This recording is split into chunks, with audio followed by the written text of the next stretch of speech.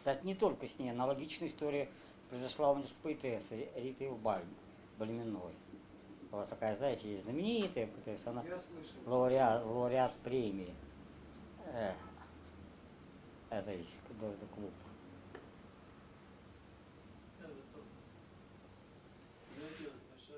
Лечение, знаешь, им там снимают, вырезают, потом опять все это продолжается. Говорят, что это излечимо, но, но в основном это неизлечимо. Вот. И я сказал, что я не экстрасенс и не святой. Я ничем не могу помочь. Она вызывала экстрасенс, кстати говоря, при мне. Вот. И она говорит, а ты все-таки сделай, помоги все-таки мне. Ну, ла- э, ну, я ничего не сказал, ушел. И через неделю его вызвали на рентген и сказали, что ничего, все исчезло. Опухоль исчезла. Все. А ей уже вырезали часть груди. Какой-то небольшой кусочек. Понимаете? Исчезло. Через полгода проверили, ничего нет. Вы знаете, и так неожиданно было. Вот. Я был на сеансе экстрасенса, который она вызывала. Ну, если бы экстрасенс действительно ей очень серьезно помог, она бы ко мне не обращалась. Ну, кто я такой? Ничто вообще. Так, как говорится, приятель. Вот. Она вызывала экстрасенс, простой такой парень, очень простой-простой Ваня. Такой. Он вызвал ауру. Знаете, ауру такую, знаете. Сказал, какого она цвета. И где у нее находится эта опухоль. В общем, объяснила и все. Так у нее была собака, это Данди. Сейчас она ее э, отдала кому-то. Она небольшая была собака, но очень злая. Она кинулась, бросилась на этого экстрасенса. Экстрасенс ей говорит, ты что ты меня кусаешь, что ты меня кусаешь? Тогда я раздвинул собаке пасть и сунул туда руку. Вот видишь, не кусает меня. Но это потом несчастная Данди, собака, на мне помешалась полностью. Она спала у меня на груди. Она лезла целоваться, она мешала мне заниматься все время. Она в присутствии хозяйки облизывала мне ин- интимность. Представляешь себе, что вызывало дикую ярость у хозяйки. Она говорит, это, это ты ее приучил к этому? Я говорю, как я мог к этому приучить? Вот. И как она издали меня зависит, завид хвостиком уже виляет, бедный, повизгивает. Понимаете? И один раз она так уж мне на- надоела, что я ее так грубо очень так оттолкнул, я не знал, что там тумбочка была, и она ударилась головой о тумбочку. И так поплакала, плакала, пищала. И я сказал, ну я думаю, что она к тебе больше не подойдет. Нет, она опять подошла, бедняжка. И, и я уже, уже жалился над ней и решил об- а- а- отгонять ее чисто психически. Она отходила. Да. А потом я наблюдал любовь животных, ревность. Ялочка взяла себе еще кошку. Крошечного лемурчика, у него такие огромные глаза, малюсенькие лемурчики, гигантские глаза. И они говорят все глухие, эти лемуры. Так это, этот, эта кошка, она э, вот, она э, села ко мне на колени. И тут же Данди это подошла и тоже. Ну, она большая, так на колени неудобно садиться. Она посмотрела на эту, на эту кошку, так недовольна. Кошка на нее ощетилась, подняла лапу так. Это маленькая кошка, такая крошечная, это Данди по сравнению что слон, по сравнению с ней. Понимаешь ли? Эта крошечная кошечка так зашипела, на нее подняла эту лапу. Понимаешь, мол, а Данди, а это Данди посмотрел, ну что с такой мелочью связываться, считает, ниже своего достоинства. Вот. А потом они мирно спали, прижавшись друг к другу спинками. Вот, понимаете? А, А вот аналогичная история произошла с Ритой Бальминой, но я не знаю, что тут подействовало. Это для меня до сих пор загадка. Ой, это, это мой, да? Чай, он горячий. Горячий, да? Это по дороге как раз к этой елочке мне встретилась Ри- Рита Блемена. И она сказала, что нее обнаружили, ну, в общем, непри... вот эту шту- штуку, но не, не знаю, доброкачественную или злокачественную. Понимаешь ли? И через неделю мы с ней встретились на лицобрании, довольно такая была счастливая. Я спросил, ну как ты чувствуешь себя нормально? Вот, и сейчас она ходит, как встречаемся, и ничего. Вот. Но понимаете, у меня был случай такой 28 лет назад, еще перед, за 4 месяца до, до отъезда в Израиль, у меня на руке возникла опухоль, вот здесь вот. И я пошел к врачу, он сказал, что ну это жировик, чепуха. Я так, ну пойди к врачу, к хирургу и срежь, а иначе будет расти. А я пошел не к хирургу, а к референту по французской литературе, Михаилу Тейперу. Был такой, и есть еще в Москве сидит, очень красивый парень такой. Но он еще не просто был референт по французской, он был последователь Рудольфа Штейнера. Это немецкого мистика, антропософа. Этот э, Штейпер посмотрел, сказал, что это костяная опухоль. Вызови дух отца. Я говорю, слушай, с вами крестная сила. Буду вызывать еще э, видовщинить и так далее. Еще чего не хватало. Это же не для лутов, как говорится, не, не для меня. И не стал, конечно, вызывать дух отца. Через два дня опухоль исчезла. И э, я показал чистую руку. Тейпер, он сказал, ну ты колдун. И последний чили, это так называемый чили. Это чудо-случаи, которые со мной э, были. Это их было четыре. Вот, вот с Элочкой, с Ритой Балиминой и вот со мной лично. И четвертый был уже, как говорится, заочный такой, понимаешь ли? Это в журнале «Двоеточие» в израильском появилась статья о моей книге «Блики волны». Статья Владимира Тарасова. Он ругал, книгу разносил в пух и прах. Одной э, фразой перечеркивал мои лучшие тексты. Но он заметил там, что поэтика Бакштейна охватывает все области гуманитарных знаний. Перечисляет там литературу, историю, искусство, философию, историю и экстрасенсорику. Экстрасенсорику он отнес тоже к гуманитарному знанию. так. Значит, уже было замечено. Не мною, это со стороны уже было замечено. Знаете?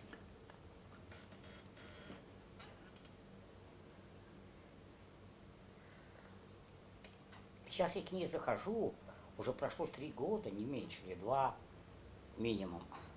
И как будто ничего и не было к этой Элочке. Нормально захожу и как будто она ничего не было, как будто она не была приговорена. Безнадежно. Представляешь, нормально, как хоть черт знает, какие-то законы здесь очень неведомые, очень темные и очень трудно нащупать. Правда, она очень устала, потому что она растит троих детей, одна, мать-одиночка. Ну, один уже взрослый, ему 26 лет, он университет уже кончает, и уже кончил, он ей уже помогает. Он математик такой большой, крупный сейчас математик считается. А две девочки у нее, одна, одной 16 лет, другой 14. А я видел, когда они, она их только что родила, буквально они такие были совсем голенькие, крошечные. Понимаете ли? То есть вся их жизнь прошла. Моим это, как говорится, при мне. У нее было много книг, она покупала, много читала. И она мне их дарила.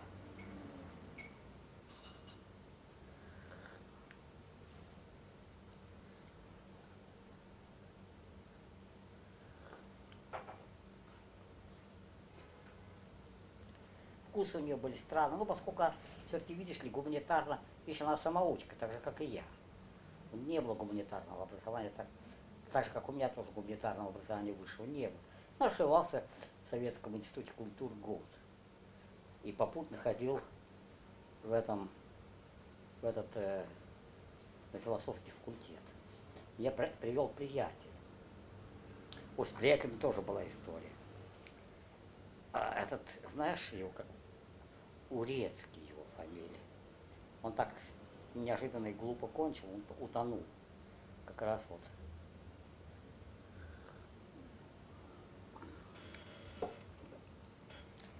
он э, встретил меня в Ленинской библиотеке и сказал, а что, вы записываете? Да. Все это вы записываете? Потрясающе, а я даже не знал. Ну не важно, пусть, пусть это будет достояние. Ведь никто это, ведь я это, понимаешь, я что-то записал в отношении Эллы, но я под чужими именами, я фамилии не называл. И Елочка там под чужими именами, и Рита под чужими именами, и вот этот вот Миша ты под, другой фамилией.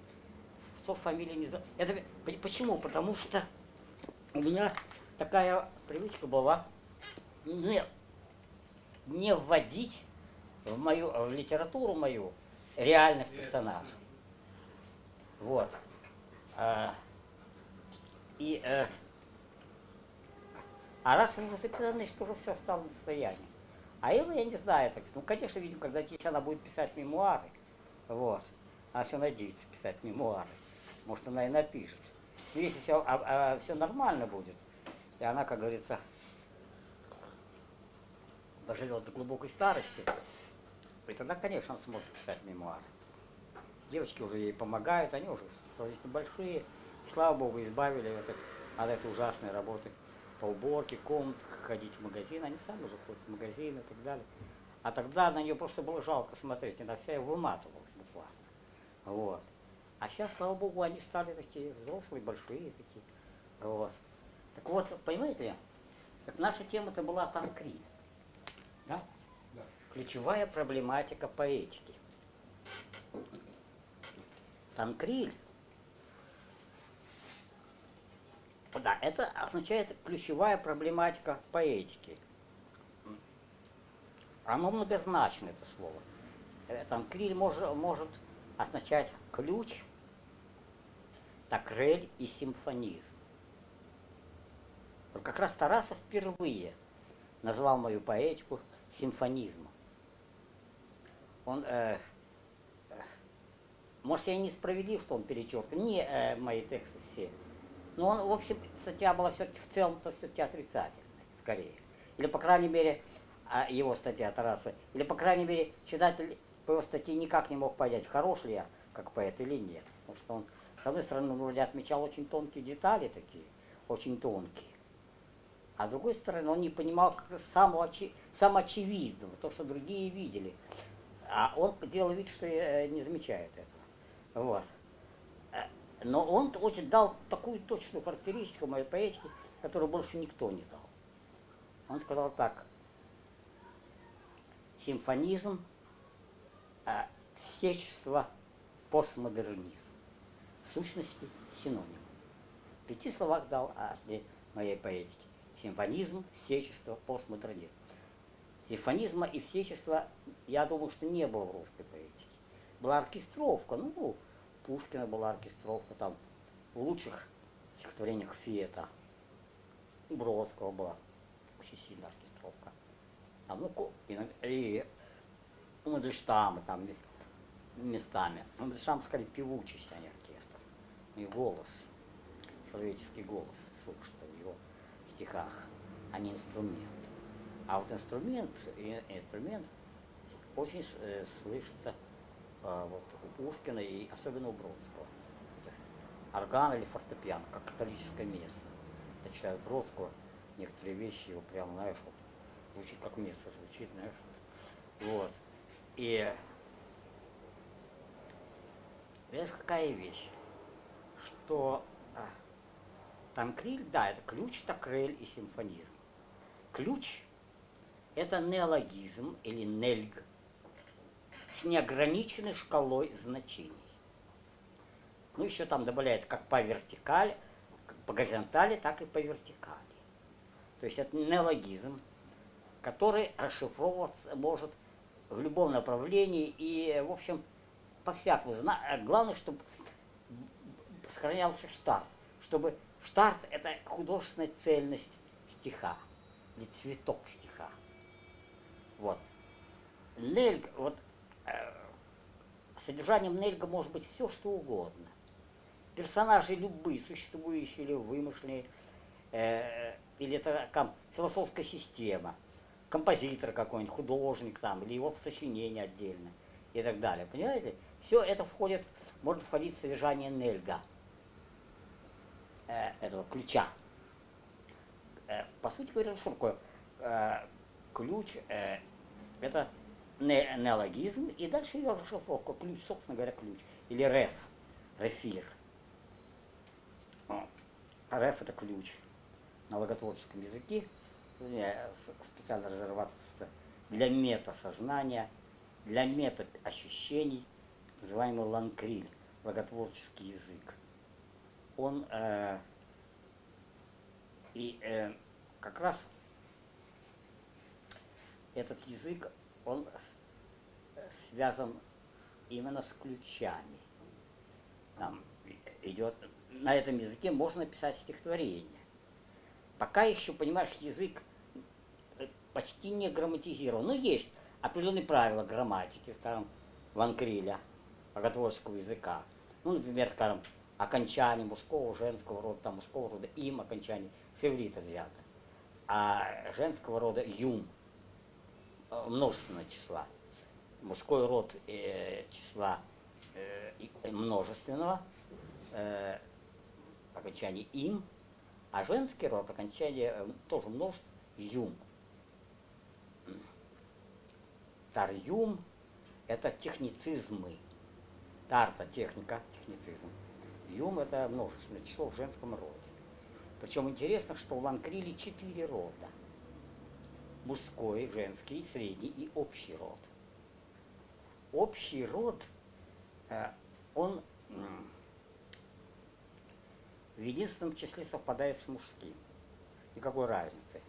А вот во множественном числе он имеет окончание не им э, и не юм, как женский род множественного числа, а ум. Если уж говорит э, э, техницизмы, в общем роде это тарум получается, а не тарьюм, не тарим, не тарьим. А это, вот. Или, скажем, тарц. Тарц это дерево. Скажем, если в мужском, множественное число мужского рода тарцим, а в женском роде тартьюм, а вот общий род тарцум. Потом э, есть определение, скажем, прилагательных окончаний э, ар обычно. Граммар грамматический. Торцар древесный. Тарц дерево, торцар древесный. Это окончание прилагательных определений. Есть, скажем, допустим, э, вот окончание причастий или деепричастия, они практически одинаковы. То есть пока еще не выделил деепричастие отдельно. Они обычно совпадают. У них окончание ен. Торцен – это, ну, если так перевести на русский язык, древесение. То есть, а, когда вещь становится древесной а уже принимает качество дерева. Деревенеть. Деревенение торц, торцем. Торцем. Или, скажем, а, вот потом, а, что там еще, какие есть правила. Ну, вот я что-то не помню, у меня, там целая грамматика составлена. Вот. Вот, а, а, ключ это действительно Э, ключ – это расшифровка нельга, неологизма, логотворческого термина или экзерт. Экзерт – это логотворческий термин. А ключ – это его содержание. Причем, а что такое э, э, горизонталь и вертикаль в ключе? Горизонталь – это полисемизация понятий, обычных понятий это придание обычному грамматическому значению слова других значений по воле автора. Еще это еще называется этот как его да, полисемизация понятий горизонтально называется пир. Пиранция еще называется. Пиранция это полисемизировать текст. а он действительно как бы пирует, этот а, автор, когда он находит новые, придает новые значения а, словам обычным, и это резко расширяет э, возможности стихотворения. Резко сообщает стиху новые планы совсем, как бы даль, устремляется вдаль, вдаль. Вот.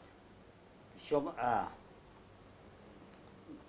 обычно благотворческая поэзия делится на э, три э, таких раздела. Это называемый лексиэль или лексид. Эль – это стихотворение, а поэтика – эльт, так же как парт. Парт – стихотворение, парт – это э, поэзия. Вот, э, понимаете, что э, есть лексиэль – это обычное стихотворение, без ключей или очень небольшим применением. Хотя нет, достаточно уже одного ключа логотворческого или экстремического ключа, чтобы Лексиэль стал премом, пред экстремическим или предлоготворческим стихотворением. Достаточно одного небольшого ключа.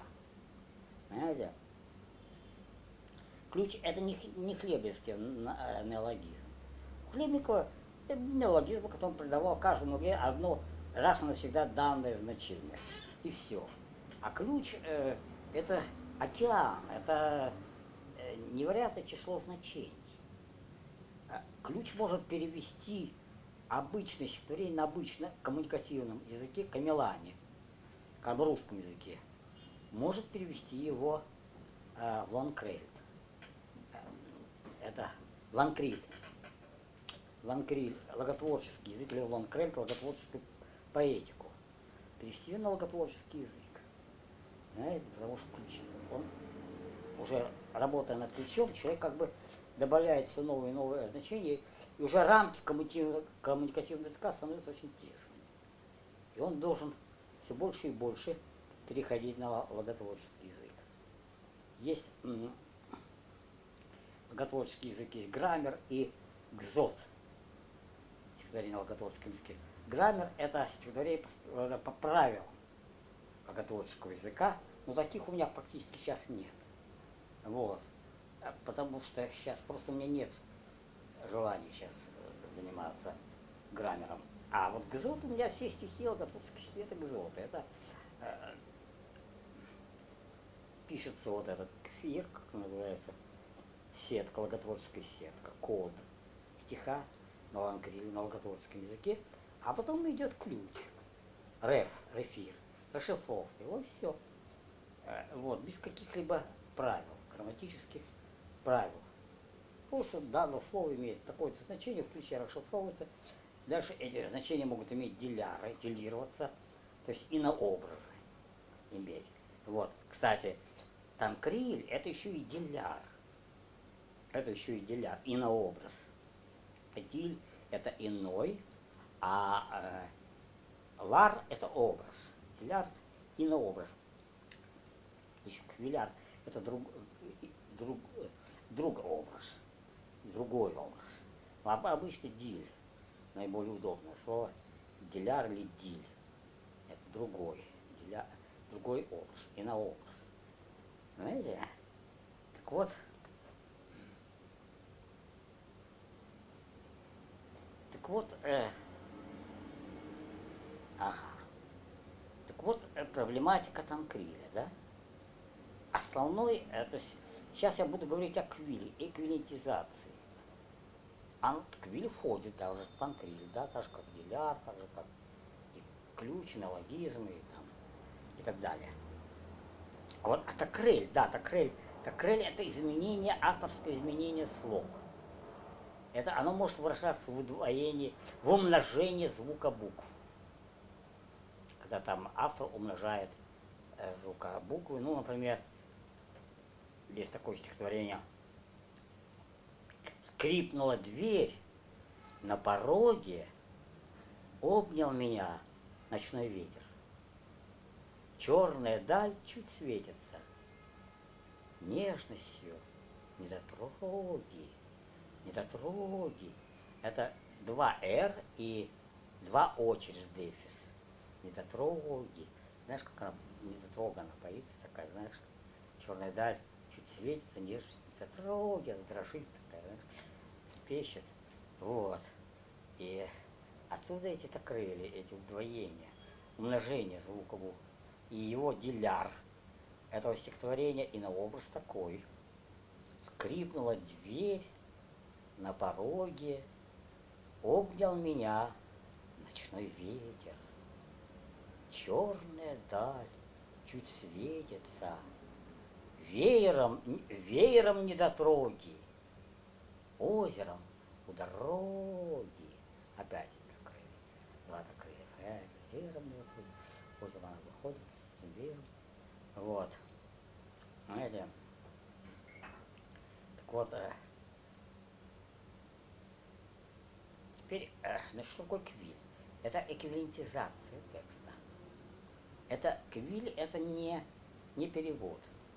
Перевод, переводчик хочет как можно точнее выразить мысль оригин, э, оригинала на языке перевода. Но обычно это чем лучше оригинал, тем хуже его перевод. Как правило, понимаешь ли? Вот, но если повезет кому-то случайно, может быть, а, а, опрокинуть эту истину. Но, как правило, так и есть. Квиль ставит своей задачей эквивалент оригиналу дать. А по возможности сделать оригинал богаче. Эм, то есть перевод или эквивалент богаче оригинала. И это достигается приемами такими, что если, допустим, оригинал в траде, в традиционном стиле, то квиль в аванге, в авангарде. Он использует все эти мудренности, все эти новшества авангарда, вот, и создает более богатую, более такую многоплановую картину. А, или, может быть, даже в крайне, но это очень редкий случай, когда действительно э, квиль как раз эквивалент э, традиционный, а вот как раз оригинал авангардный. Но это очень редко, это практически. Или, например, так, если, например, и квиль, и оригинал авангардный, оба, тогда квиль, как правило, это более сложен по авангарду. Более сложен. Квилен более сложен оригинала. Но ведь это неизбежно каждый раз. Как? Это не... Это очередная проработка происходит. Да, очередная проработка, конечно. Понимаете? Ну, например, я могу вам привести пример Квиля. Это очень неожиданно для меня, при- приятная неожиданность оказалась. Это при- пример. Вы время прекратили, да?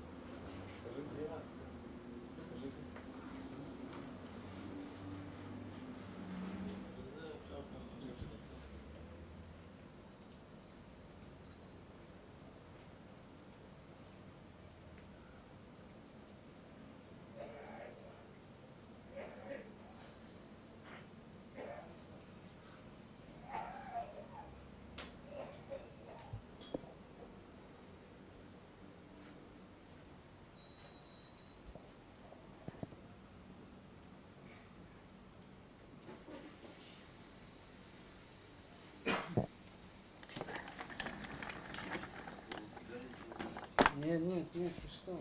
Жалко денег. Да, вы сюда, вы сюда. מובילים את העניין של הצילום, אה? מובילים את העניין של הצילום, מה זאת אומרת? הבנתי שפתאום בהתחלה הוא, הוא לא שם באמצע לב הוא שזה- פתאום כן, אמר, כן. אתם מצלמים איתו? כן. אז זה לא, אה, איך Ну, включили, да? Да, специально. Вот, это э, пример квиля. Это квилизация данной Зингер фрагмента из моей фантазии страстей. В оригинале было так, ну начало. Я весь текст его не помню, я помню только три строчки. Начало его, ее квилинтизации. А, начало э, было так. Ночь пришла, углится мгла. Пасть крыла меня взяла. Пасть меня взяла. Она перевела так, актуализировала. Лайла ба митпахемет афалла лоа канаф ати бала. То есть, если, скажем, допустим, в оригинале это а, ночь пришла углиться мгла, пасть крыла меня взяла, то на иврите это получается так.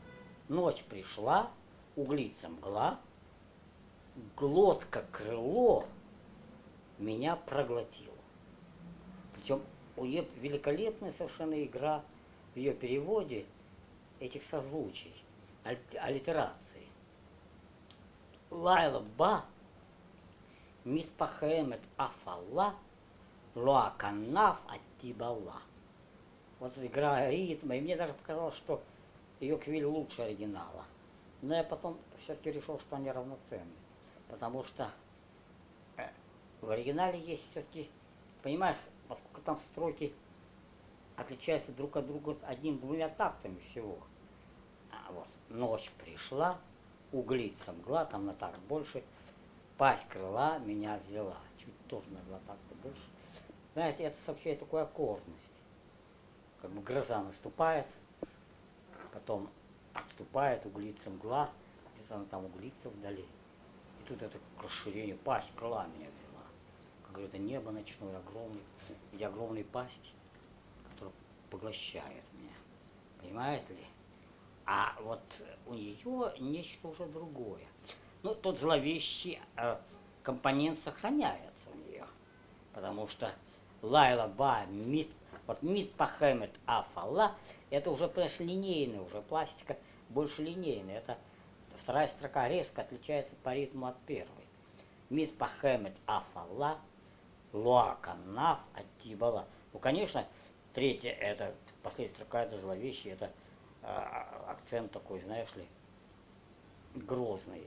Глот, э, глотка крыло меня проглотила, как ущелье какое-то, понимаете? Ущелье. Понимаете? Обычно этот, ну, весь этот фрагмент, я вам хочу прочесть, весь этот фрагмент э, фантазии страстей.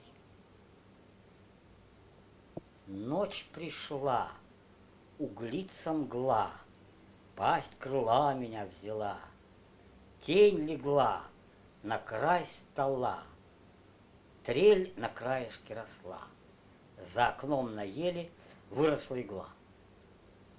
Интеллект давно мне обещает исцеление, Хоть сам он результат болезни, что вызвало его предчувствием за ним стоящим, как за экраном мысли настоящие, закрашенное бездною окно.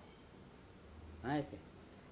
И другой фрагмент, который Дана Зинкер поместила в этой же антологии стих Мишуререм, русско-израильской антологии поэтики, впервые. Там эти алимы поэты были представлены и переведены на русский, на иврит. Ну, я думаю, как обычно, перевод формальный, подстрочный. Ничего подобного. Она подошла очень творчески.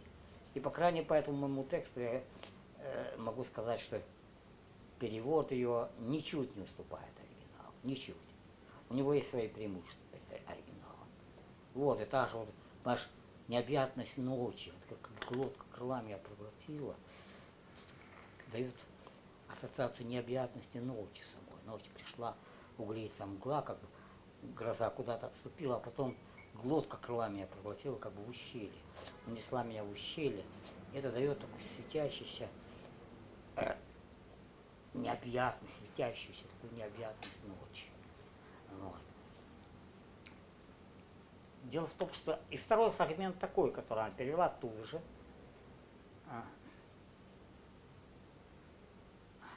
Все чувства у них номерки чудовищных вымыслов числа, нелепой игривости грез, а вместо безмерности мыслей одних ожиданий вопрос.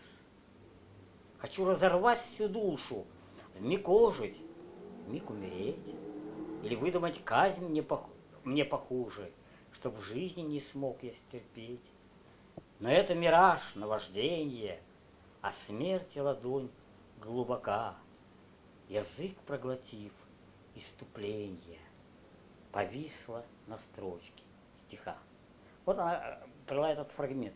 Ну, фантазия страстей сама занимает четыре страницы, я боюсь, что я просто не помню всего. Там начало как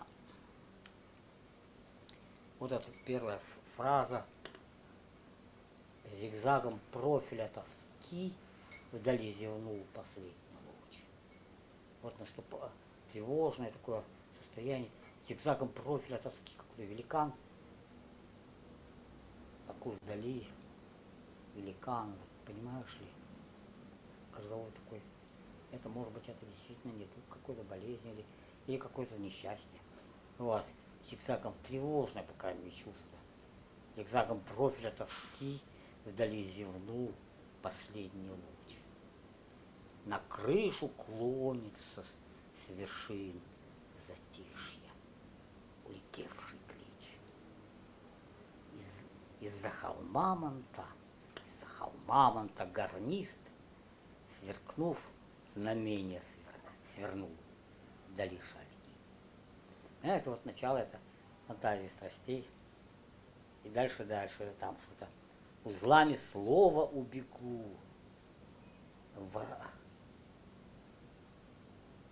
славе слова убегу, листая лики, стерегут великих знаки, листая знаки, узлами слова убегу, листая знаки, стерегут великих лики, гонит гонг, в окости нервы, в окости нервы, крика ринг, осиротелый греков гор, окаменелых хоров Рим. Дальше идет уж там другая пассия. Интимно гимны сгрудились залами за окнами грозы. Шагают храманты, холм мамонта язык скрещение знамена рук. Захлопнув крышку, взвился звук. Ключ, преломляющий лучи вокруг. И дальше, округлившись у вершины, убежали трубачи. Дальше начинается уже разработка. Это была экспозиция – да, она построена по принципу сонатного аллегра, классического сонатного аллегра. Это фантазия страстей. Вот. Дальше начинается уже, собственно разработка. Округлившие вершины бежали трубачи. Леденеющий танец вошел со свечой. Мне ладонь протянул. Я оглянулся. Наступающий сумрак просунул в окно мне тень ветки догорающий вечер мне на волосы отблеск кладет горячо. Я наклонился, на столе обнажило плечо статуэтка на солнце. Статуэтку накрыл удивлением, а в ней зеленее камней засветились ее лисьи глаза в камне скрытых морей над морями огромным цветком раскалились. Плечи белеющих птиц листьями речи лились.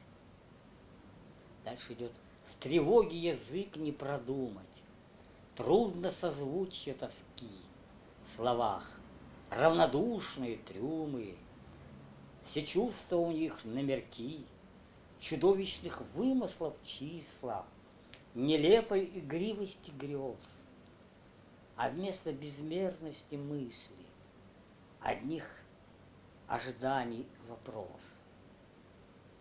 Хочу разорвать всю душу, вмиг ожить, вмиг умереть, или выдумать казнь мне похуже, чтоб жизни не смог я стерпеть. Но это мираж, наважденье, а смерти ладонь глубока. Язык проглотив иступление, повисла на строчке стиха. Пространство меня обнажает, в прострацию вводит восход. Не солнце, пространство меня обнажает, в прострацию вводит восход. В прострацию входит восход. Более лучше. Не солнце, чего я не знаю, чего я не знаю. Секрет океаном растет, Притит описание жизни, Холодного ветра пятно, плаще словотворческой мысли, Что высится храм окном, И все, что любовью хранимо, На тайном холсте звонит. Плывут мне навстречу незримые Предчувствия знаков одних.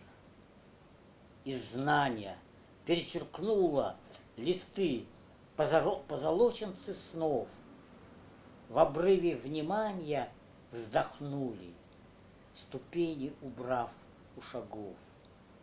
И разум от них улетает В уныло-крылатый простор, Что ангелом видится раем, А змеем узорами нор.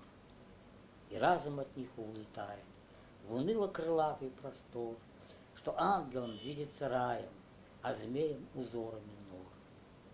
И дальше идет ночь пришла, углится мгла, пасть крыла меня взяла, тень легла на край стола, трель на краешке росла, за окном на еле выросла игла. Вертикальный момент сразу, понимаешь ли? Вот.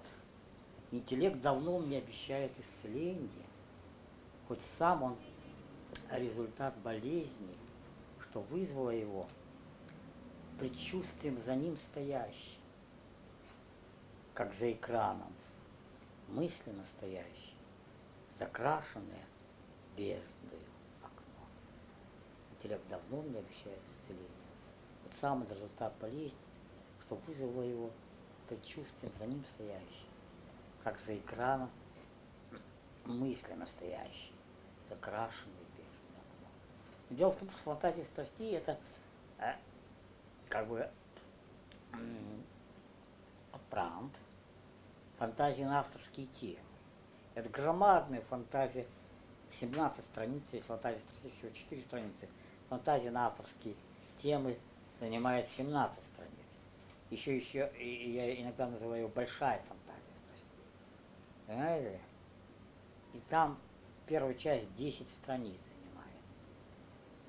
Там уже, понимаете, там начало, если, скажем, допустим, фантазия страстей, начало все-таки не так, как бы осознанно мрачно, как фантазия на авторские темы. Там зигзагом про... Э, я бы даже не сказал, что э, начало фантазии страстей мрачно. Оно может затаенно, загадочно. Зигзагом профиля тоски вдали зевнул последний луч. На крышу клонится с вершин, Затишье, улетевший клич. Из-за холма мотогарнист Сверкнул знамение, свернул, Вдали шаги. А вот сначала э, фантазия страстей, оно более ясно и ясно мрачно. Там, говорится, лоб, как говорится. Только вот начальный образ глуч дает некоторое представление затаенности. Как бы издалека-издалека приближается гроза. Из океана как бы вырастает гроза, туча. Грозовая туча из океана вырастает издалека, далеко-далеко. Зигзагом профиля тоски вдали зевнул из лапы жгучая, изломом глуч. Глуч, вот пойми, знаю. Не важно, а это вот загадочно неведомых что-то, тайна затаенная. В мозгу изломанный в излучине вершинами, коленями молений из реки, удавами сверкнувшейся строки, унылого знамения, затмения шаги. Унылого знамения, затмения шаги. На крышу клонится с вершин, необозримо черный крик. Из-за вершины кит руки в каленом, че... в каленом черепе сверкнул. Зигзагом, человеком туч, и злом мы мимикаю круче. С двумя там эм, я не знаю, мимикаю круче. Узлами строчек убегу, Востервенелый конный гул, Загонят кони в ритмы гонг, А костенервы крикаринг, Осиротелый грекогор, Окаменелый хоров рим, Паучьими стволами за излученными круче. А дальше что там у нас? Ой, даже я что-то забыл. Там за излучинами круч. Эм, за Что-то я не знаю там. Закручами, излучины. Э, И как-то так. Дальше там какой-то идет так, повороты такие. И говорит, и кажется, так приближается недуг. Там уже прямо говорится. Так приближается недуг. И кажется, предсмертной пустоте легла на плечи тишиной одет. Из мрака безотчетности мечта, грозою озаренный лик листа великого маэстро глухота.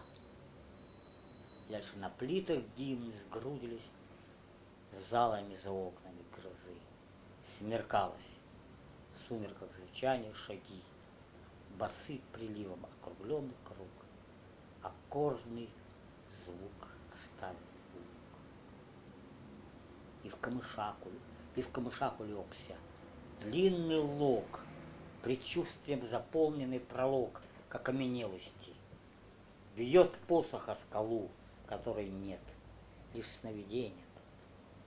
Морских приливов мутный силуэт. Знак пропасть, знак плоскости ныря, ныряет в темноту. Налет крыла, надлома ломкий свет. Лбом собора навис, над кручью сфинкс. Тучи певучий сумрак. Мрак над высью, над душными кронами Свился рулонами, вихрями птиц. Дальше что такое там? А, это уже финал там, уже финал Преста такой. Вот, гонг, финал такой. Гонг, колокол сонных объятий хоры. Кружатся в омуте перья хвосты. Село крыло альбатроса за горы. Город закрыли поющие рты. Лбом собора навис над городом сфинкс. Сонных объятий сумрак.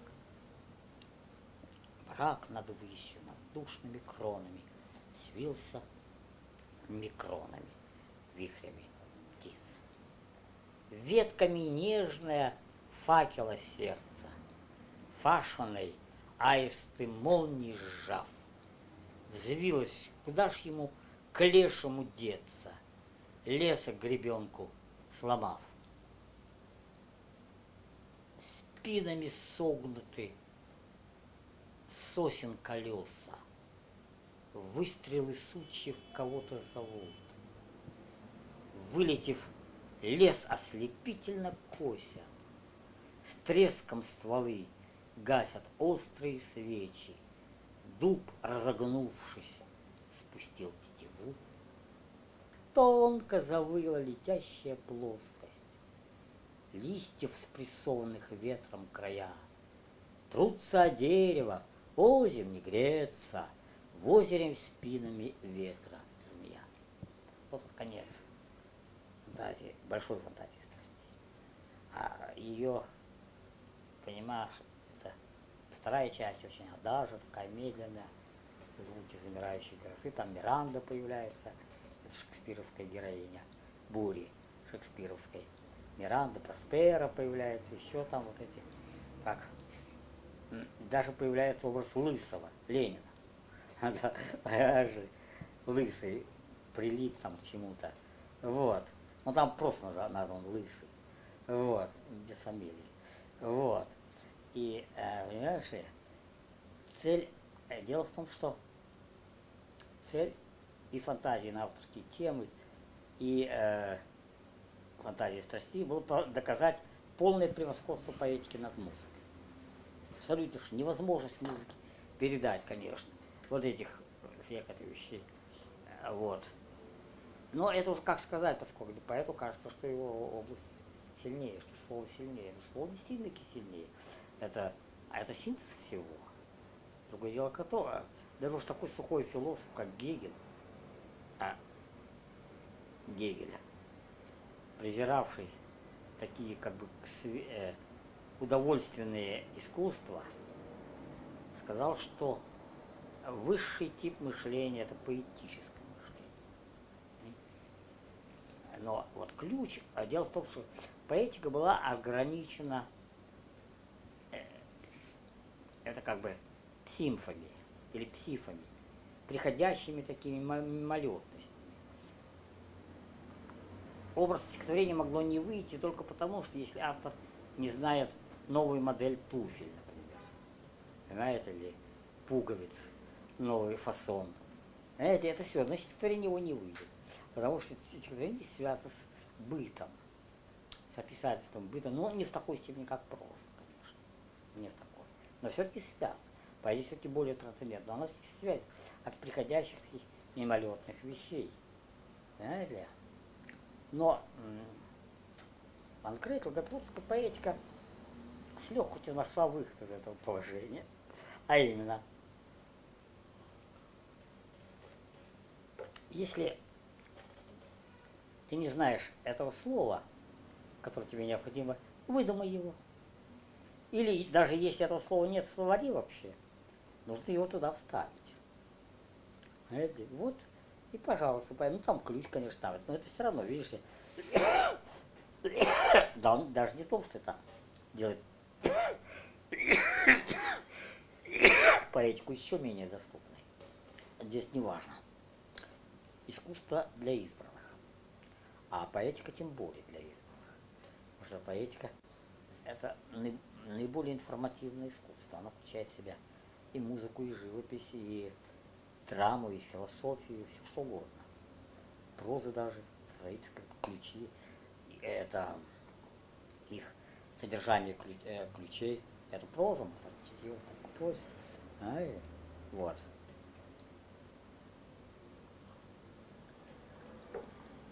Так вот, ага. Теперь э, ночь пришла, улица мгла, пасть крыла меня взяла. Дело в том, что, ну, действительно трудно сказать. Дело в том, что когда я сейчас воспроизвожу, э, воспроизвожу музыку, она, мне кажется, очень легким. Легкой по сравнению с поэтикой. Ночь пришла, улица мгла, пасть крыла меня взяла. Тень легла на край стола, трель на краешке росла. За окном на еле выросла игла. Интеллект давно мне обещает исцеление, хоть сам он результат болезни, что вызвало его предчувствием за ним стоящим, как за экраном мысли настоящие, закрашенные бездную окно. Но дело в том, что если я включаю внутренний слух, включаю, то музыка кажется как-то легкой уже. Нет, нет вот этого нагнетания всеобъемлющей какой-то трагедии, ну как фатальной. Том, том, та том, том, та том, том, та том, том, тарам, тарарам. Тум-та-тум. Том-та-том, том-та-том, том-тарам. Ну, А в пожарный ключ темы вообще эту трагедию размягчает, потом она более такой пространственной становится. И все равно по сравнению с той, э, ну, вот это зигзагом профиля тоски вдали зевнул последний луч, на крышу комнаты с вершин летевший ночь. За холма он гарнист, стукнул знамение. Он все видит, все это, поэзия все это видит. И озвучивает, и видит одновременно. А музыка, она на все намекает и ни о чем не говорит. Она слепа и глуха.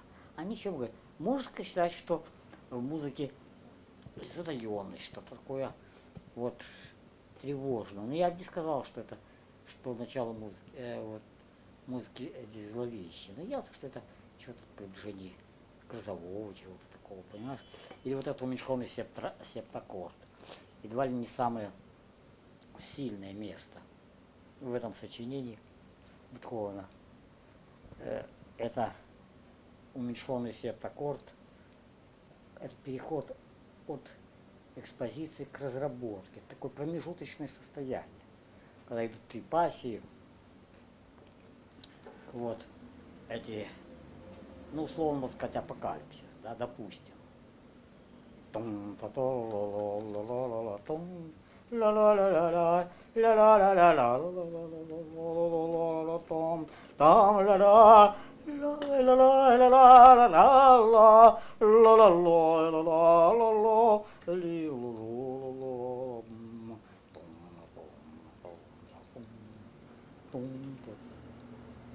и дальше идет вот, этот, вот это место, очень шатко, но оно потрясающее. Конечно, если по музыкальному рангу, это, понимаешь ли, как бы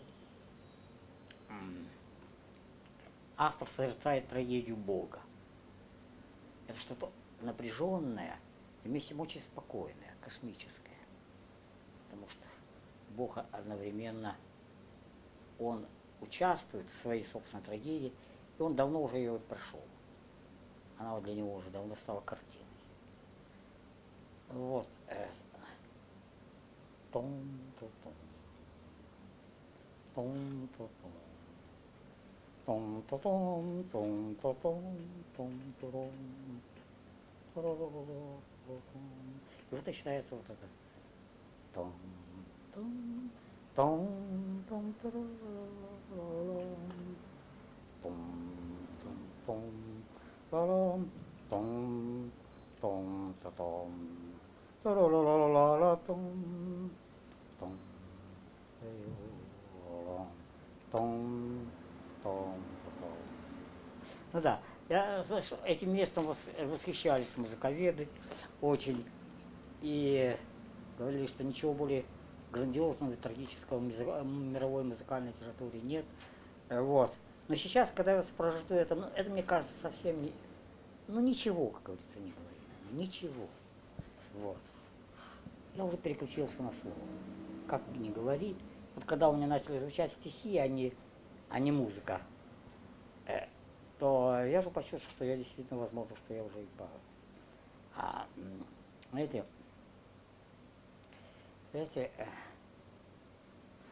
дело в том, что, ну, если взять по, по, э, размаху там космичности трагедии, то, конечно, у меня есть полимерации. Полимерация – это перевод кода информации из одного арта в другой.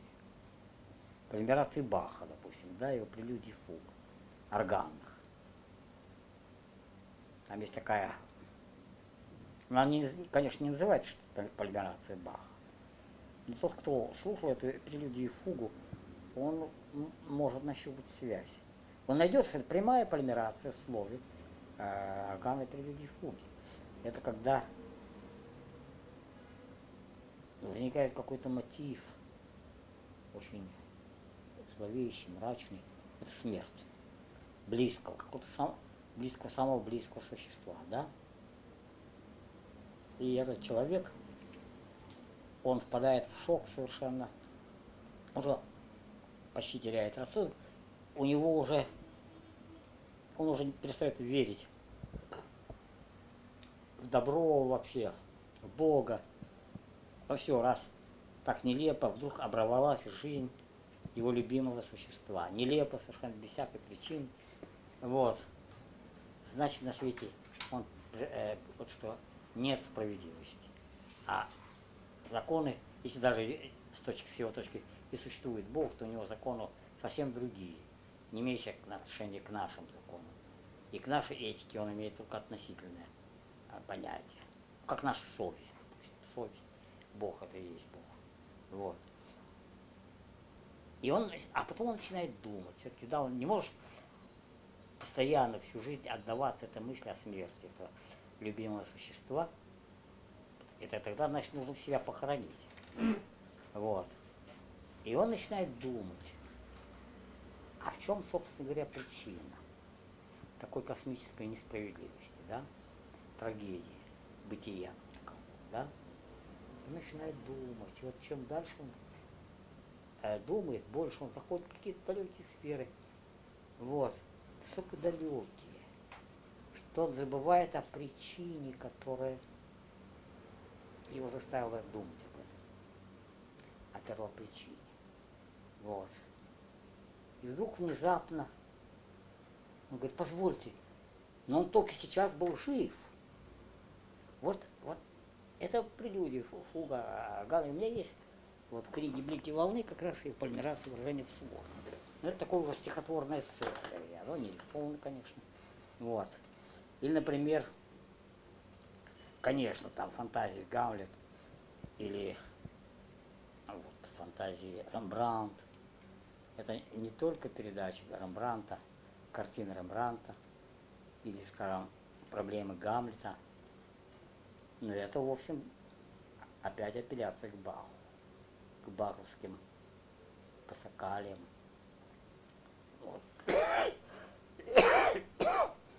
Дело в том, что когда фантазия Гамлет э, была опубликована, и я ее читал Дубнову,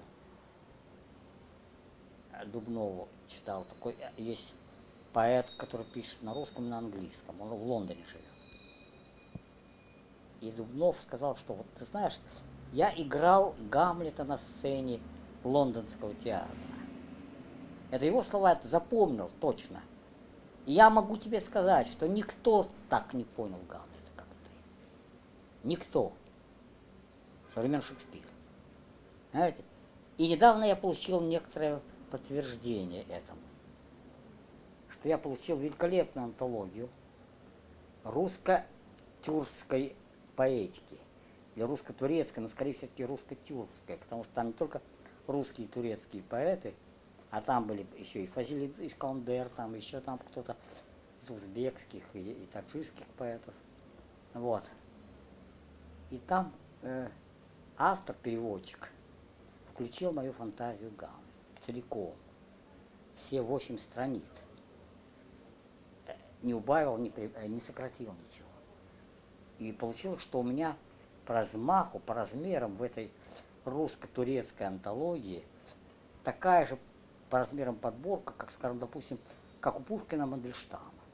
То есть я вошел, будучи неизданным, неиздан, я еще автор неизданный. У меня издана всего одна книга 13-летней давности это уже завременело. Она уже, как говорится, не дает представления о моем творчестве. Не издан. Я уже вошел э, вот по этой антологии, если посмотреть эту русско-тюркскую антологию, то вошел в Афедрон, как говорится, число пяти таких самых сильных поэтов русских. Самый, э, больше всех там дали Ахматовой, 12 страниц. Потом идет Пастернак, 9. А потом уже, значит, троица, это э, Пушкин, э, э, Мандельштам и я. А остальным уже меньше. Арансон 7. Ну, Арансон это любимый поэт-переводчик. Переводчик Ричард Маккен. Американский поэт. Он сейчас вроде английский поэт, в общем, сейчас живет в Лондоне. Вот. Он Маккен переводчик, это Арансон ему это самый любимый его поэт русский, современный. Он его называет божественный Аранзон. Божественный. Но все бы было бы хорошо, если бы этот божественный Аранзон бы жил. Но он умер 30 лет тому назад. И уж э, хвалить покойников, это уже, как говорится, это уже дурной тон. Это, знаешь, у меня есть такое стихотворение. На покойниках родить ума не надо. Позор шуметь, о гениях умерших, живых оплевывая именами мертвых. Но это по поводу одного очень известного живописца и поэта, который в своем журнале, он, он редактирует журнал, все время восхвалял Хлебникова Вот Хлебников величайший русский гений. И тут заплевал меня. Назвав меня сумасшедшим графоманом, и который сочиняет бессмысленные стихи, теории, и, в общем, вот. Вот, понимаешь ли, и, ну, э, дальше э, там уже упомянутый Володя, уже кто сказал, что стихи Бакштейна, Тарасов я имею в виду, следует очистить от верблюжьего кала, потом каких-то там засохших насекомых и какого-то древесного мусора, по-моему. Тогда они запоют, засияют каким-то непонятно чем, эзотерическим песнопением. Володя Тарасов. Хотя он очень красивый поэт, он очень одаренный, очень тонкий очень тонкий, поэт Тарасов. Но это ущемленка, это комплекс конкуренции. Комплекс, поэты ненавидят друг друга. И я не, не это да, это еще китай, китайцы заметили. Есть Китай, э, ну, китайское такое, такое положение, что писатели рождаются ненавидеть друг друга. И вот как раз он, видишь ли, Тарасов распространял и публиковал мои сочинения, и тут же их ругал, я разносил, в общем, одновременно. Причем он бы опубликовал бы еще больше, чем мог бы, если бы он остался редактором журнала. Он редактировал журнал «Саламандра». Ну, единственный тогда модерный журнал в Израиле. Потом он сгорел на втором номере, «Саламандра» несчастная сгорела, и журнал э, это русский Израиль остался вообще без модерна. А потом появился Зингер, журнал Зингер, Дан Зингер. Это журнал ИО. И потом он перешел э, в двоеточие, стал двоеточием.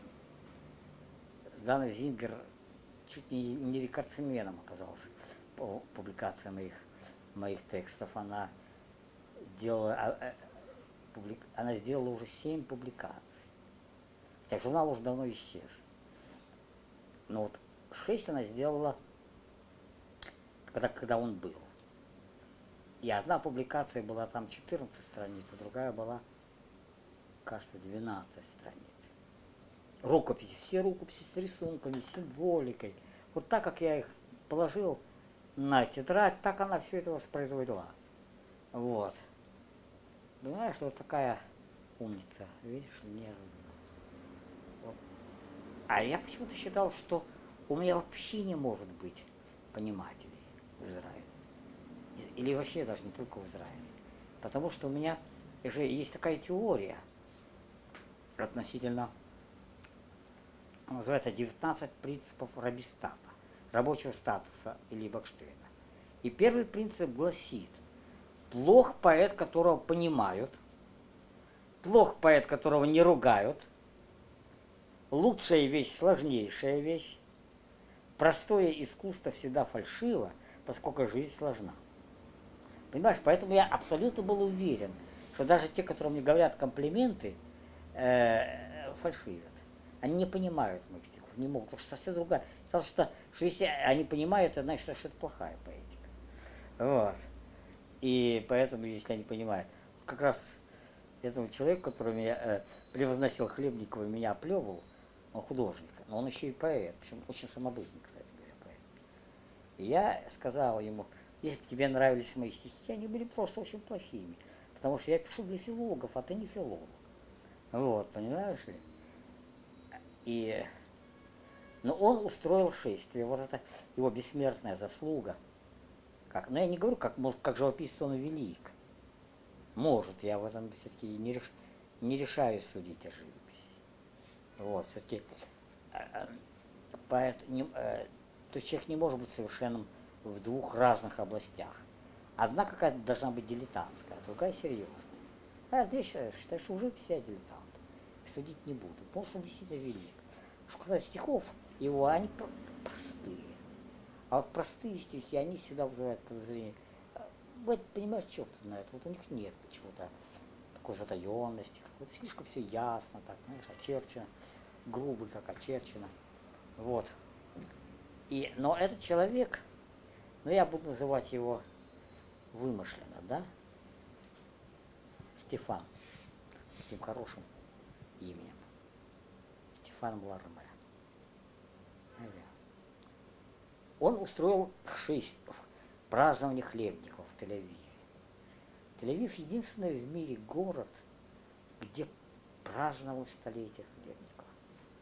Где-то в других городах, в Париже, там, в этом, в Нью-Йорке, где-то стояли где-то в кулуарах, этих потайных местах, какие-то жалкие собрания, что-то мямлили о Хлебникове, и, в общем, ничего, никакого резонанса. А в Тель-Авиве по Дизенгофу, по Дизенгофу шествовал конь или лошадь. На лошади сидел Стефан, одетый в талис с изречениями Хлебникова. Кругом зеваки, а рядом я шел. Понимаешь ли, там есть сфотографирован, вот, э, рядом с, этим, с этой лошадью, вот, такой маленький, растрепанный, причем вот так, расхристанный, как говорится, полностью грудь на распашку и так далее. Вот. Шествие прошло по Дизенгову, потом спустилось на Дон Хос, и там был митинг, посвященный хлебнику. Видишь, какой- это их заслуга, конечно, бессмертная. Сделай на 5 минут перерыв. Нам Да. надо сменить батарею. У нас Хорошо, батарейка. ясно. И это самое. Я. И продолжим. Так вот, значит, можешь говорить, да? Да. Так вот. Квиль. Эквилентизация. Но я приведу уже ам, известные, вернее, неизвестные не по тексту, потому что никто их не знает, они не были опубликованы, эти переводы Лорки. Но это потому, что Андрей Вознесенский сказал в своих мемуарах о том, что э, на трибуну вскочил потусторонний Бакштейн и запел свои переводы Лорки, которые куда свежее опубликовавшиеся у, на- э, у- у нас. И с тех пор э, со мной встречаешься все время, мне э, говорят, ну, перевод в лодке прочти, потому что они уже знают, что кто-то о них упоминал. А такой э, известный поэт, как Андрей Вознесенский, чья книга распространилась в 25 тысячах экземпляров на виртуальном ветру. Так вот, э, Квиль, э, если это действительно эквивалент лорки, там э, как раз и нет никакого модерна. Э, И оригинал прост, э, традиционный, лорки оригинал. И его эквивалент тоже прост, он э, традиционный. Ну вот, сейчас посмотрим. А, вот я хочу сначала все-таки, видишь ли, пропеть вам «Привет, лорки». Это посвящение лорки, это может быть на тему лорки. Вот, это уже не лорка, это, конечно, уже Бакштейн, а все-таки интересно, как, как это будет звучать. Свет любви, светолик любимой, Света ветки озера звезды, На столе летний лист, Заколосился кровать, колосится. Золотые часы зелень гли. Белоплечель за столом запела, Златоволосы, красное тело, Плечо серебро лучина. Цвет любви, светолик любимой, Месяц на блюдечко выйдет, Весь мир мелодию ищет, Но мира любовь не видит. Цвет любви, светолик любви. Как-то так, знаешь, делать так, чтобы это Цвет любви, светолик люби мой.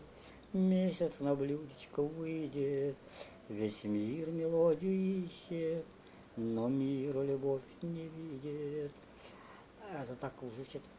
Цвет любви, светолик любимый, Световетки озера звезды, На столе летний лист заколосился, Кровать колосится. Золотые часы зеленели, Белоплечель за, ста- за столом запела, Злато волосы, красное тело, Плечо серебро лучинок. Цвет любви, светолик любимый, Месяц на блюдечко выйдет, Весь мир мелодию ищет, но мира любовь не видит. А вот уже перевод Лорки, того же, да. Зелень, любовь, моя зелень любимая, Зелень ветки, ты зелень ветер, зеленые ветки, И лодка в нежных волнах, И лошадь из ветки сияет, И, качаясь по грудь в тумане, Чудо печали перил сидела, Зл... Перил сидела, а, а что печаль сидела. Зеленый волос, волосы зелено тело, глаза, глаза серебро лучинок. Зелень, любовь моя, зелень любимая, Лютня на месяц выйдет, Весь мир мелодию ищет, Но мир любовь не видит. Verde que te cuera verde, verde viento, verdes ramas, el barco sobre la mar y el caballo en la montaña, con la sombra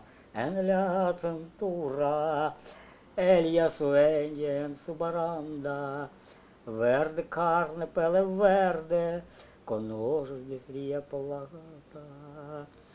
Verde che te cuero verde, bacio la luna gitana, las cosas le están mirando, и él no puede mirarlas.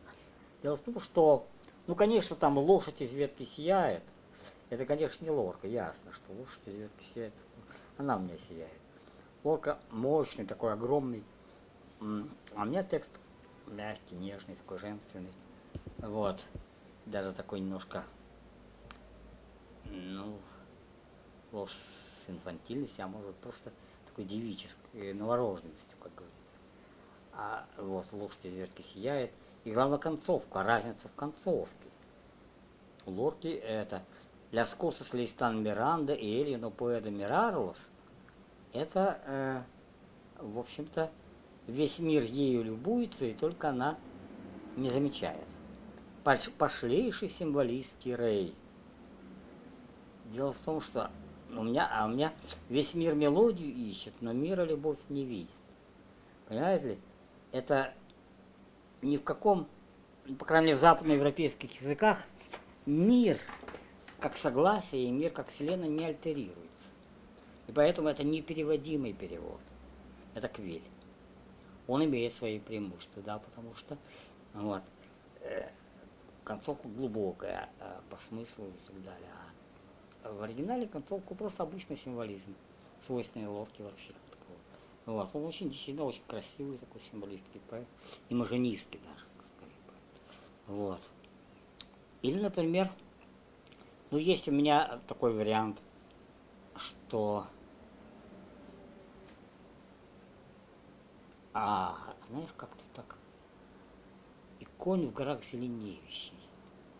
И лодка в красных волнах, и конь в горах зеленеющий. Действительно, там уже такие, уже другие изменения. Или, например, есть вот такая. Но это летняя соната, я ее забыл уже.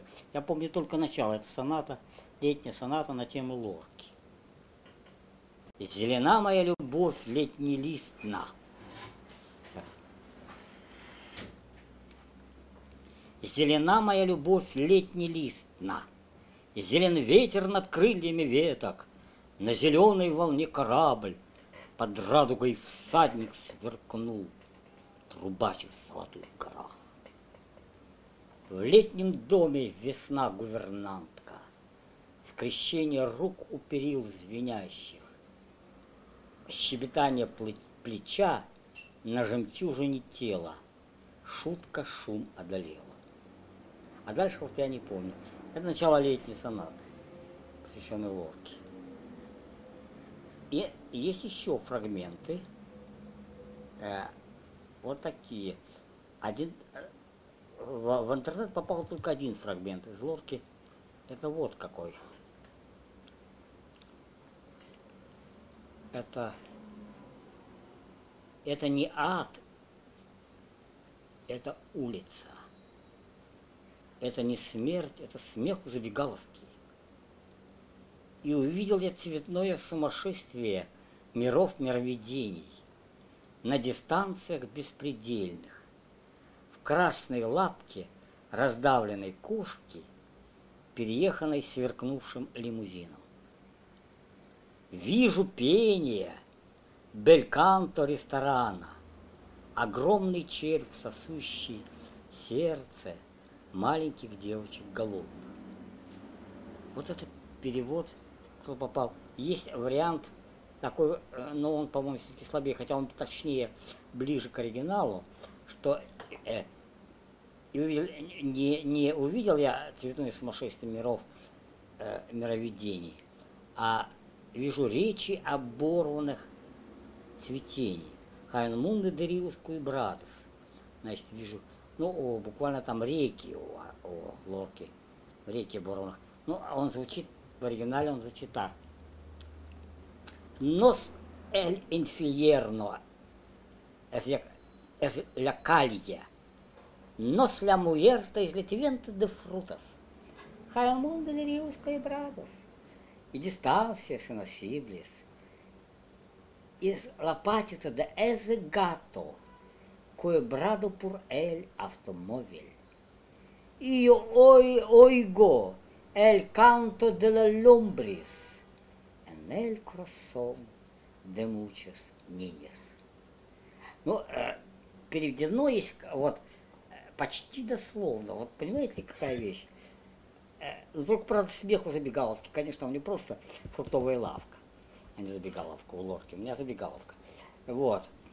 Э, Нос фьердис для калий это не э, это не ад, это улица, да. Нос эль э, Нос ля муэртис летиенда это футус, это э,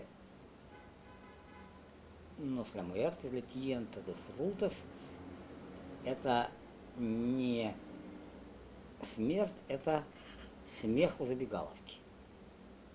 Хаймунде Дериуску и Брадос, и дистанция синосилис. Значит, вижу речи, реки оборванных цветений на дистанциях беспредельных.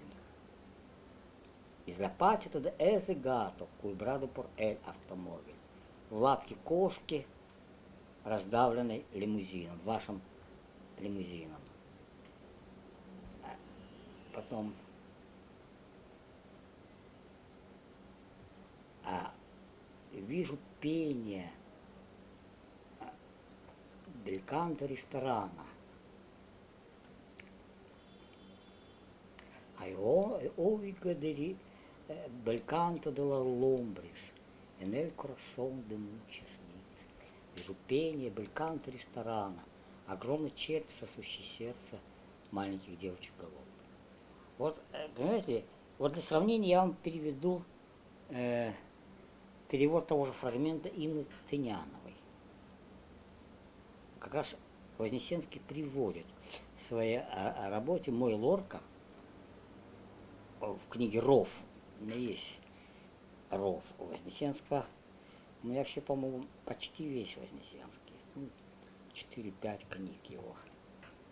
То есть все, что я мог, я купил. И у него такое, там перевод Инны Тынянова, я думал, что это перевод самого Андрея, но это перевод Инны Тынянова, я нашел. Вот такой, вот как Инна Тынянова перевела.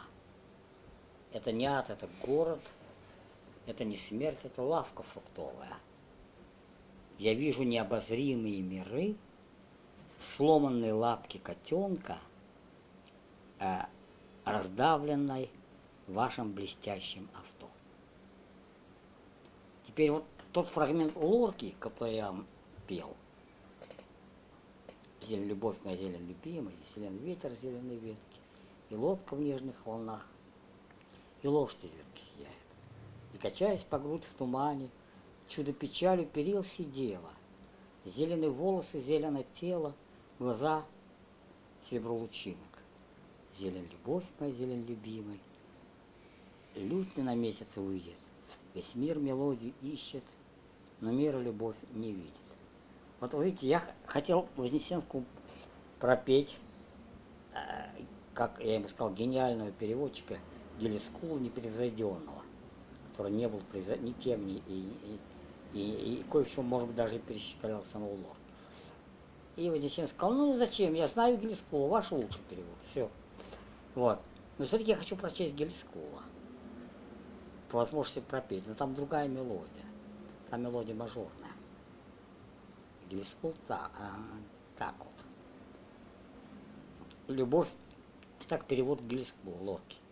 Любовь моя цвет зеленый, зеленого ветра всплески, далекий парусник в море, далекий конь перелески. Ночами по грудь в тумане она у сидела, в серебряный иней взгляда, и зелень волос и тела.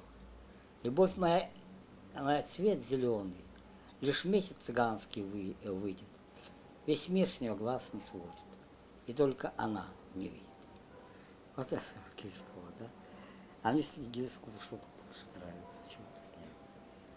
Любовь моя цвет зеленый, зеленого ветра всплески, далекий парусник в море. Вот нет, он лучше, чем я, это ясно. даже. Далекий конь в перелеске, Ночами по грудь в тумане, Она у перил сидела, Серебряный и не взгляда, И зелень волос и тела, Любовь моя цвет зеленый, Лишь месяц цыганский выйдет, Весь мир любуется ею, И только она не видит. Самое странное, что у меня тютелька в тютельку ритм лорки. И нет никаких рифм, потому что у лорки нет рифма никакой. Испанцы вообще не любят рифму, они очень образные. У них это образ заменяет рифму. А Гелескул сделал рифмованный русский текст совершенно с обычным силоботаническим этим э, э, приемом русским. И, в общем, казалось бы, э, вроде внешне формально, что общего с оригиналом? Нет, а вот какое изящество. Вот. Любовь моя, цвет зеленый, зеленого ветра всплески. Далекий парусник в море, далекий конь перелески. Ночами по грудь в тумане она у перил сидела. Серебряный и не взгляда, и зелень волос и тела. Любовь моя, цвет зеленый. Лишь месяц цыганский выйдет. Весь мир с нее глаз не сводит. И только она не видит. Нет, мне Гельскул больше как, э, нравится, мой перевод. Хотя мой точнее, по отношению к оригиналу, намного точнее, конечно. Но Гельскул изящен, он с иголочки. Он, знаешь, как-то, знаешь, так, вот именно изящен как-то. Очень интеллигентно так это сделано, как говорится, цимис, как это говорят на идиш, цимис, кейф, наслаждение. Вот. Теперь, э, понимаете ли, еще в отношении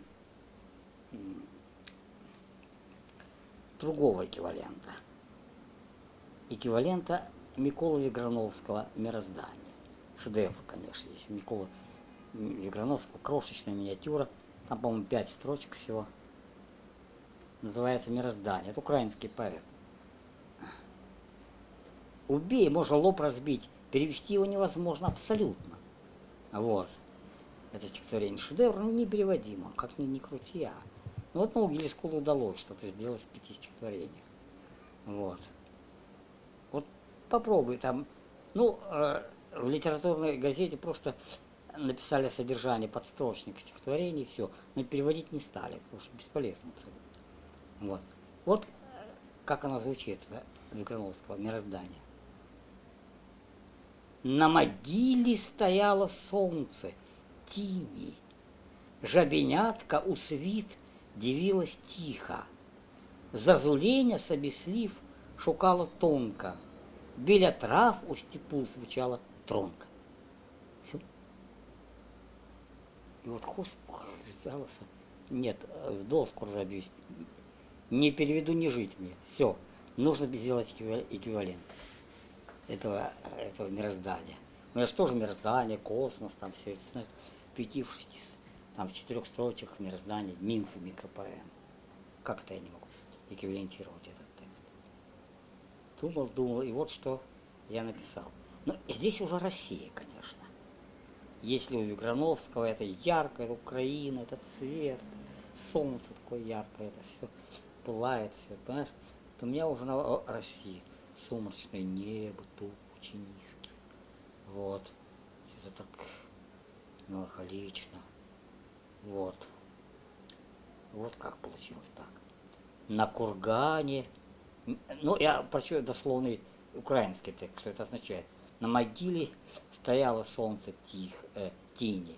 Значит, на кургане стояло солнце тени. Жабенятка, значит, лягушонок усви- на мир дивилась тихо. Осматривала мир. Зазуление – это кукушонок. Собі слів шукала тонко.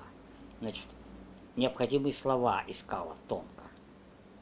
Біля трав у степу звучало тонко. Это значит, в гуще трав в степи э, звучало, звучал колокольчик на шею бычка, который привешивают бычку. Ну как-то тронку, ну тронку нельзя выбрасывать, потому что все, это стихотворение пропадет все. А как ты объяснишь? Про- На русском нет слова тронка, и нет так вообще, не привязывают колокольчик к бычку, э, к шее бычка. Вот. Я сделал так. На кургане мерцает солнце, панцирь. Лягушонок в траве увидит танец. Кукушонок на стихи настроен тонко. У высокой травы мерцает тронко. Слово тронко означает речи тоньше молочка, колокольчик хорошеющий на шее у бычка. Знаете? Э, Вот. Что поделать, пришлось удвоить стихотворение по размерам. Вот. И к тому же у меня тут применен называемый жуз, жужжание света. Вот. У высокой травы мерцает тронко, у высокой травы мерцает тронко, если учитывая еще сумрачное небо, тучи такие нависшие, тяжелые облака такие черные, серые. У высокой травы мерцает тронко, это как бы жужжание света, почти неуловимое. Ну Вот. Есть Анна Волохонского тоже жуз. э, мерцание света. Но мне обидно, что у меня это все-таки перевод, а не оригинал. Нет, это оригинальное стихотворение не переводимо на украинский язык. Конечно, ни на какой язык оно не переводимо. Оригинально русское стихотворение. Вот. У Волохонского было так, это стихотворение «Бессмертие коня».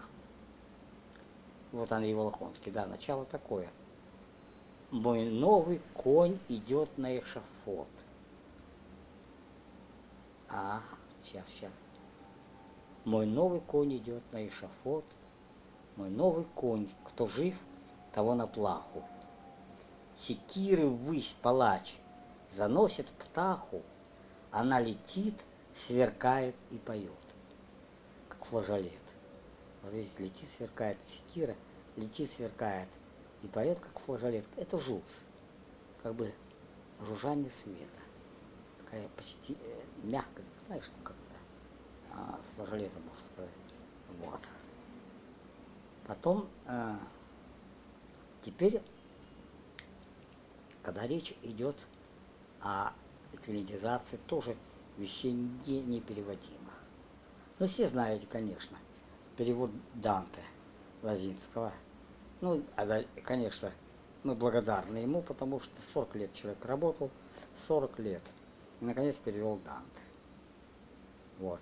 И очень хвалят этот перевод. И говорят, что, дескать, Лазинский сделал так, что ад – это как скульптура, чистилище – это живопись, а рай – это музыка. Может, может быть, это и так, но послушаем Лозинского. Земную жизнь пройдя до половины, Я очутился в сумрачном лесу, Утратив правый путь в конце долины. Каков он был? О, как произнесу тот дикий лес, Дремучий и грозящий, Чей давний ужас в памяти несу. Так горек он, что смерть едва ли слаще, Но благо в нем обретший навсегда, а, скажу о том, что было в этой чаще. Не знаю сам, как я забрел сюда, но только сон меня опутал ложью, едва я сбился с верного суда, э, следа я даже не помню, как он там приблизился под, подножию. Ну, такая державинская, тяжелая державинская строфа такая, увесистая. Оригинал.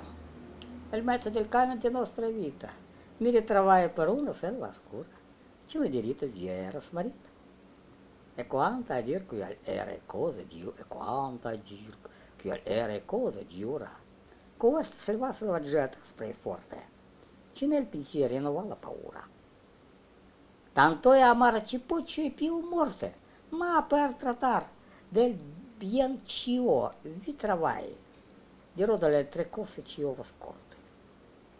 Non so ben, ridir com io vientrai. Tantiera pien, de sonno in socol punta. Человерачи и абандонай. Еще, знаешь, как аккордеон звучат. Танчера пиен, дисон, соколь пунта. Ну, не знаю, были во времена Данте аккордеон в 14 веке. Но, по крайней мере, такое ощущение, что аккордеоны. Где и non so ben ridir com io ventrai, tantiera pien, di sonno in so quel punta, человераче vi abbandona, и pra- м, de nel mezzo del camin di nostra vita, mi ritrovai per una selva scura, ce la diritta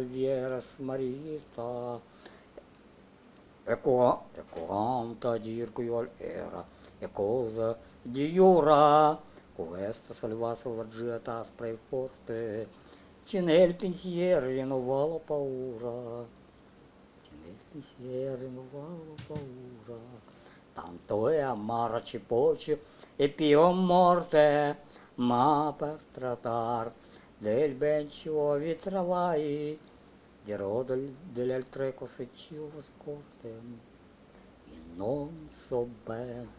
Ridire com io entrai, tantiera pien, di sonno in su quel punta, человераче via абандонai.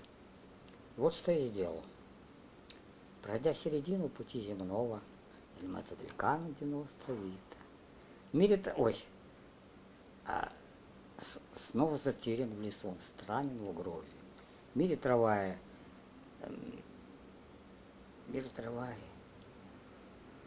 не помню, господи, что я забыл. Эльмаца дель Камедина Островита, в мире травая, про уна села да. Вот. Пройдя, пройдя середину пути земного, снова затерян в лесу, он странен в угрозе. Путь потерял или в первом вопросе снова. Человерита вия эрос марита. Экуанта эра, да. Но как же мне выразить это древесте мрака? На один так сокращение строки. Экуанта адир эра и коза дьюра. Ну как же мне выразить это древесте мрак? Ну буквально это означает, ну как же мне выразить это темное дело? Вот. Giata spray force. Вопро- а, Вопросы стволы из величия дичи силы. В оригинале это вопросы лис- э, стволов, бьющейся силой.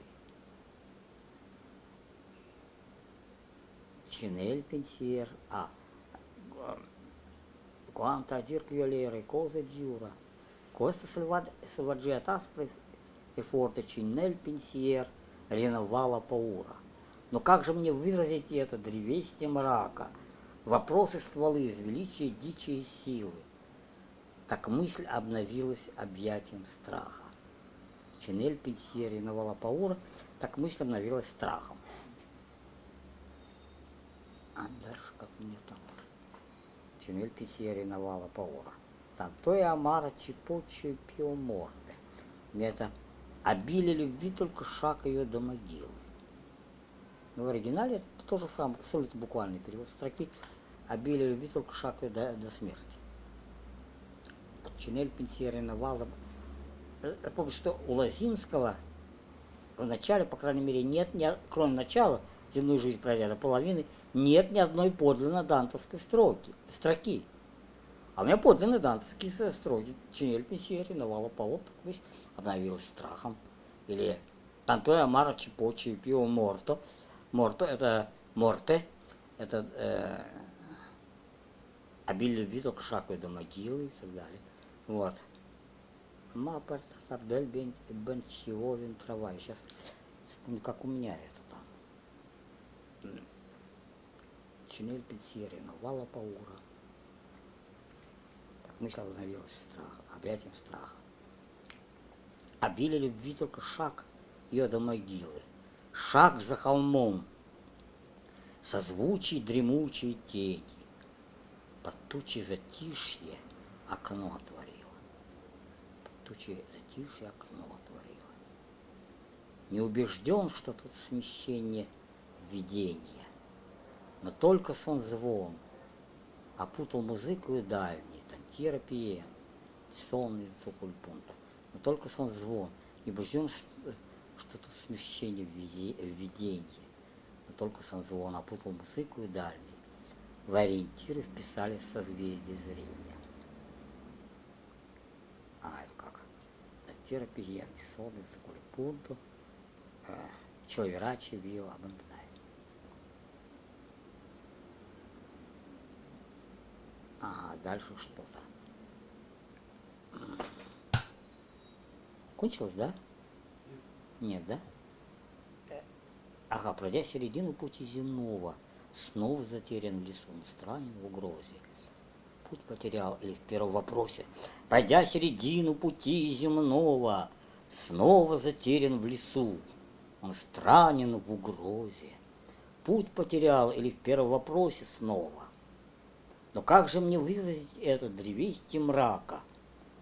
А, вопросы стволы из величия дичей силы. Так мысль обновилась объятием страха. Обилие любви только шаг ее до могилы. Шаг за холмом, созвучие дремучие тени. Под тучи затишье окно отворило. Не убежден, что это смещение видения но только сонзвон опутал музыку дальней. В ориентиры вписались созвездия зрения. Но только луч, овало крыло, словно донна вуалью, ощупал холл мыслей, почив в очевидцах. Сумрак, басово особы глаза, за леса передвинем внимание. Молчат трубачи за ушами вершины. Плечистая тень, уходя за холмами, Очеловечила вечер, речист, заученный сумрак долины. Молчат трубачи за ушами, за ушами вершины. Плечистая тень, уходя за холмами, Очеловечила вечер, речист, заученный сумрак долин. Вот это так называемая попытка квилентизировать начало божественной комедии. Но есть посвящение Данте. Э, оно называется «Моему учителю Данте». А уже публиковалось раза два, а этот перевод неизвестен, он не опубликован. Вот. Посвящение Данте или моему учителю Данте – звучит так. Пройдя середину пути земного, снова затерян в лесу, Он сумрачно птицей путь потерял или с первой страницы снова. Свист. Лань легла, в лапах раскаты мрака. А дальше что-то. В лапах раскаты мрака. Смеюсь, забыл, что такое бред какой. Раскаты мрака. Созвучие лесов. Ну, допустим, буду э, сочинять. В лапах раскаты мрака, созвучие лесов, из величия дикие силы, так мысль обновилась объятием страха. Обили любви только шаг до могилы. Там тоже дантовская строка повторяется. И а дальше что-то, вот забыл, забыл я этот перевод. Он публиковался. Это не перевод, а посещение Данте. Данте. Что там что-то такое. Чти лик, клик, забот. Лик, клик, забот. Тонкой порою приходишь к тому, что без ярости мысль бесплодится хилой. Флаг без крыла, пламени эры про- про- веры проходишь. Флаг без крыла в пламени веры про- проходишь. Из тьмы многоэра над точкой ночи безмерной, Путь ясный утратив, кружа в хороводе. Кому я оставил мечты бесхолменно, Где отдохнуть человече, И сердце так сжалось, Словно в рассказе раскаяние за сценой. Чти лик, во, лик латынь, И у притчи Флоренции плечи, Платье сверкание ровное, Кроны косящие речи, Режут колонны величия одеждами птицы, Краснея ладони на хрупкой странице, Цветок на плече расцвела Беатриче.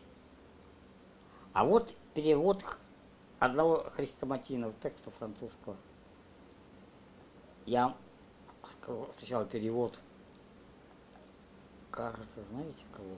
Ага, того же, по-моему, Гельского. Гельского, по-моему, перевод. Прочту. Как оно звучит. Ну, да.